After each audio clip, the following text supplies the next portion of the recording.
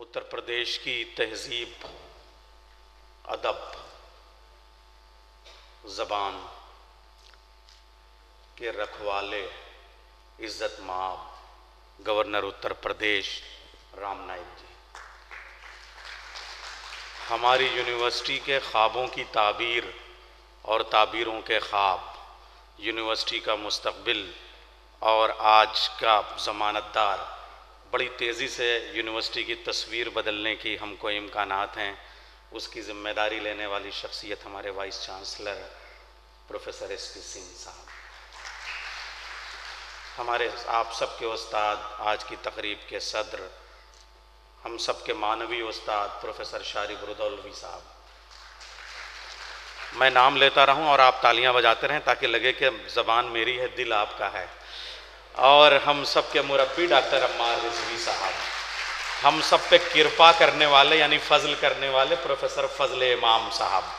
हम सब का वक़ार, यानी हम सब का यश, हम सब का मान सम्मान, जनाब वक़ार रिजवी साहब। ज़िंदगी दी है तो जीने का हुनर भी देना, पाँव बख्शे हैं तो तौफीक सफ़र भी देना। गुफ्तु तू ने सिखाई है कि मैं गूँगा था, अब मैं बोलूँगा तो बातों में असर भी देना। सब शामिल होते रहें। मैं लफ्ज़ बहुत कम बोलूँगा। होता यह है कि कोई भी मानवी शख्सियत आलमी शख्सियत, कौमी शख्सियत, हिंदुस्तान गिर शख्सियत, आसमान से उतर के नहीं बनती, अपनी ज़मीन और अपनी धूल मिट्टी से चराग बनता है, वो सितारा बनता है, वो मोती बनता है, वो महताब बनता है, और तब वो चमकता हुआ सूरज बन जाता है।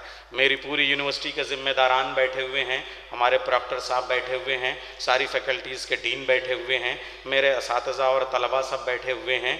मैं अर्ज़ करूँगा आपसे कि इस वक्त इज़्ज़त माब राम नाइक साहब सिर्फ़ और सिर्फ़ उत्तर प्रदेश के गवर्नर नहीं हैं, सिर्फ़ और सिर्फ़ महाराष्ट्र की एक शख्सियत नहीं है, बल्कि मुकम्मल हिंदुस्तान कंप्लीट भारत अगर किसी शख्सियत में नज़र आता है तो उस चाँद से चेहरे का नाम जनाब राम नाइक है।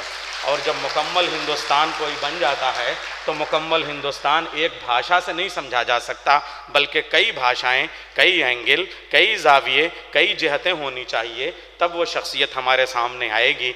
इसलिए जो उनकी यादें हैं उसको समझने के लिए ज़रूरत पड़ी कि पहले पाँच किताबों में पाँच ज़बानों में उनकी किताबें आ जाएँ और फिर हिंदुस्तान की हर ज़बान में उन्हें लिखा जाए पढ़ा जाए समझा जाए बोला जाए और सिलेबस का हिस्सा बनाया जाए। चुनानचे उर्दू हिंदी मराठी गुजराती और अंग्रेज़ी पाँच ज़बानों में उनकी किताबों के तर्जुमे हुए।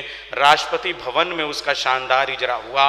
हमारे इज़्ज़त माब राष्ट्रपति, उपराष्ट्रपति और सारे हिंदुस्तान के ज़िम्मेदारान ने उसकी रुनमाई की लोकार्पण किया।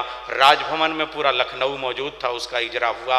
आज उर्दू दानश्वरों की नज़र में यह किताब कैसी है? आज मेरे ख्याल से एक जुमला मैं कह दूँ कि आज उर्दू दानश्वर इस बात को तय कर देंगे कि चरैवती सिर्फ़ और सिर्फ़ एक इतिहास नहीं, बल्कि अदब का हिस्सा है, बल्कि साहित्य का हिस्सा है, लिटरेचर का हिस्सा है। ये बात मैंने इसलिए कही कि जब हमारा हिस्ट्री का प्रोफेसर क्लासरूम में जाता है तो वो कहता है, जलालुद्दीन अकबर कहते थे, बहादुर शाह जफ़र कहते थे, लेकिन जब लिटरेचर का उस्ताद उर्दू की क्लासरूम में आता है तो वो कहता है, मिर्ज़ा गालिब फरमाते हैं, मीर कहते हैं तो आज से चरैवती चरैवती पे जो बात होगी तो फिर हमेशा उस्ताद ये कहेगा, इज़्ज़त माब राम नाइक फरमाते हैं।